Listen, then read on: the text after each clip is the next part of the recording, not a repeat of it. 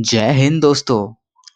PNB यानी कि Punjab national bank जो लार्ज कैप का स्टॉक है और 87 नंबर पर रैंक कर रहा है इस स्टॉक के ऊपर आज हम स्टडी करने वाले हैं। सो so, शुरू करते हैं।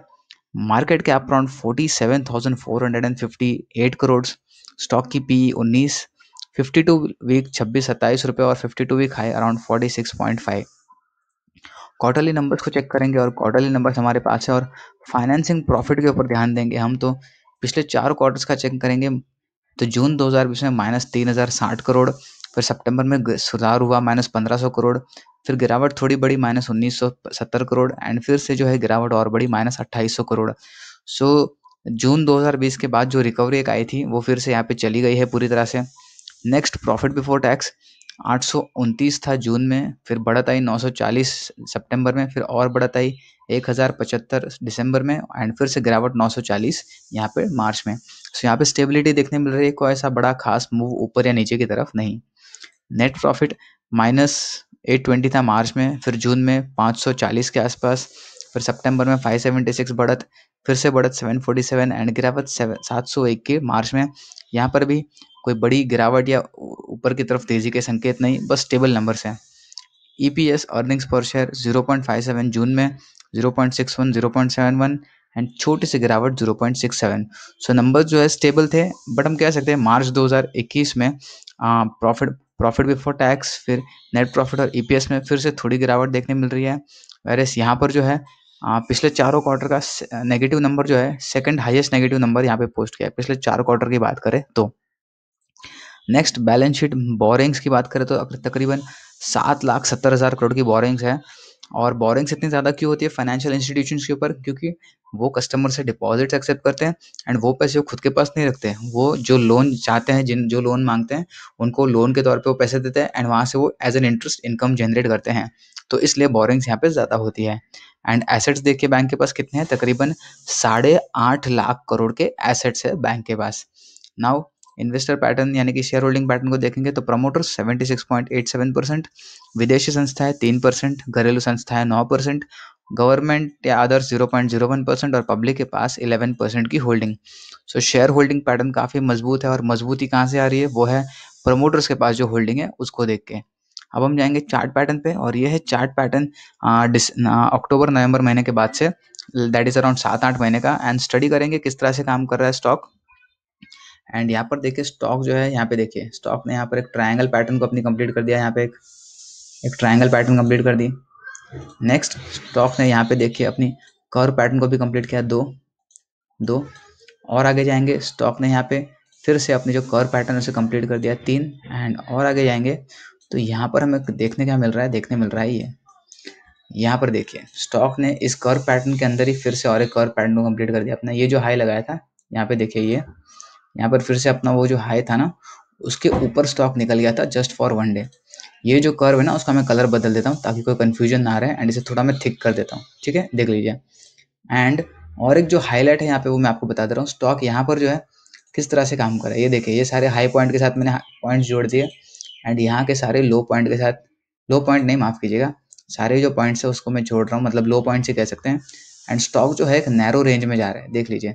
नैरो रेंज का मतलब ये है राइजिंग वेज जी हाँ राइजिंग वेज पैटर्न में जा रहा है। सो आगे जाके जो है रेंज जो है नैरो हो जाएगी। जी हाँ आगे जाके जो है रेंज है ना, वो नैरो हो जाएगी। एंड स्टॉक क्या करेगा? स्टॉक जो है इस नैरो रेंज के नैरो रेंज में जाके ब्रेकआउट करने की कोशिश करेगा। जी हाँ आगे जाके ये रेंज नैरो हो गया एंड उसमें स्टॉक ब्रेकआउट अटेम्प्ट करने की कोशिश करेगा। एंड और एक चीज़ मैं आपको बता दूँ, वो है ये फिफ्टी टू वीक हाई जो स्टॉक ने लगाया था forty six point three five वो जो है नेक्स्ट रेजिस्टेंस का रोल यहाँ पे प्ले करने वाला है। अगर स्टॉक को ऊपर जाना है तो ये देख लीजिए 46.35 सो एग्जैक्टली पैटर्न भी स्टॉक ने अपनी कंप्लीट कर लिया कर्व पैटर्न को एंड राइजिंग वेज पैटर्न में यू नो एक जा रहा है, ऊपर की तरफ़ रेंज नैरो होगी ब्रेकआउट करने की कोशिश कर रहा है। सो शॉर्ट ऑफ़ हम कह सकते हैं हमें डबल यू नो अप्रूवल मिलने वाले हैं। अगर स्टॉक इसके ऊपर निकलता है तो 46.35 के ऊपर। सबसे पहले मैं लेवल लिख देता हूँ 46.35 46.35 46.4 टू बी प्रिसाइज ओके इसे मैं कर देता हूँ ग्रीन एंड इसको जब स्टॉक क्लियर करेगा तो कौन से टारगेट देखने मिलेंगे?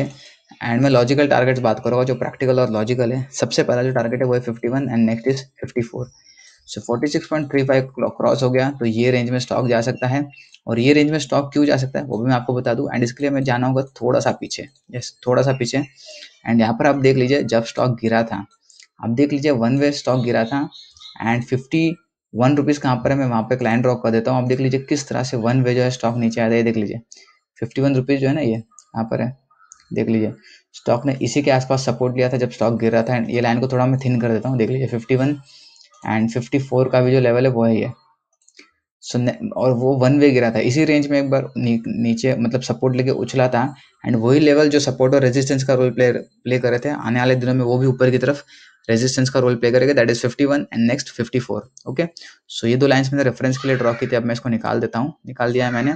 एंड नेक्स्ट इज़ और एक चीज़ हाँ ये जो स्टॉक है ना अभी भी अपने प्री कोविड लेवल्स के ऊपर उसी के आसपास घूम रहा है। जी हाँ हाँ बहुत सारे लोग ढूंढते हैं, मुझे पूछते हैं, सर, ऐसा कोई स्टॉक बताइए जो प्री कोविड लेवल से उसके आसपास काम कर रहा है?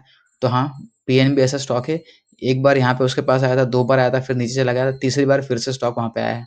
ओके? सो अभी भी प्री कोविड लेवल्स के ऊपर स्टॉक निकला नहीं है, इस बात का ध्यान दीजिएगा। और हाँ ये जो ट्रेड है, इस पर स्टॉप लॉस का लेवल मैं आपको बता दूँ, अगर आपको रिस्क लगता है पीएसयू स्टॉक्स में लाइक वॉलेटिलिटी बहुत बढ़ती है, आप चार, पाँच पाँच, आठ, दस परसेंट तो एक ही दिन में कभी कभी निकल जाते हैं। तो आप फोर्टी रुपीज़ का स्ट्रिक स्टॉप लॉस लगा सकते हैं। यस चालीस रुपये का स्ट्रिक स्टॉप लॉस लगाइए, डर लगता है तो। एंड आपका कॉन्फिडेंस बिल्ड करने के लिए और एक चीज़ मैं आपको बता दूँ, और वो क्या है, वो है ये। स्टॉक जो है किस तरह से काम कर रहा है, आप देख लीजिए यहाँ पे। स्टॉक जो है, देख लीजिए। स्टॉक का ट्रेंड ऊपर एंड यहाँ देख लीजिए। स्टॉक जो है असेंडिंग ट्रायंगल की जो पैटर्न है, उसमें काम कर रहा है। एंड धीरे धीरे करके ये जो ट्रेंड है ना, वहाँ पे सपोर्ट लेके ऊपर जाने की पूरी कोशिश कर रहा है। इनफैक्ट इस बार ना ऐसा लग रहा है, तीसरी बार यहाँ पे देखिए, एक एक बार यहाँ पे आया था। देखिए एक बार यहाँ पे आया था यहाँ पे दूसरी बार यहाँ पर आया था तीसरी बार मुझे ऐसा लग रहा है ना लाइक बार बार अगर आप किसी चीज़ को अटेम्प्ट करोगे तो कभी ना कभी तो क्लियर हो ही जाती है। तो इस बार मुझे ऐसा लग रहा है थर्ड टाइम आई होप ये क्लियर हो जाए एंड ऊपर की तरफ़ ब्रेकआउट दे दे। ओके एंड अगर ब्रेकआउट नहीं भी दिया तो भी ये जो ट्रेंड है इसको स्टॉक स्ट्रिक्टली फॉलो करते करते आगे जाके तो देना ही है। Okay okay? सो so, इस बात को ध्यान में ज़रूर रखिएगा। सो so, सारे लेवल्स को नोट ज़रूर कीजिएगा। अगर पीएनबी में आपकी पोजीशन है या बनाने का प्लान कर रहे हैं तो। एंड दोस्तों अगर आपको हमारे टेलीग्राम चैनल से जुड़ना है तो डिस्क्रिप्शन बॉक्स में लिंक दिया है। उस पर क्लिक करके आप हमारे साथ जुड़ सकते हो। सो so, एंड वीडियो पसंद आई होगी तो वीडियो को लाइक ज़रूर कीजिएगा। तो शुक्रिया वीडियो देखने के लिए। जय हिंद वंदे मातरम।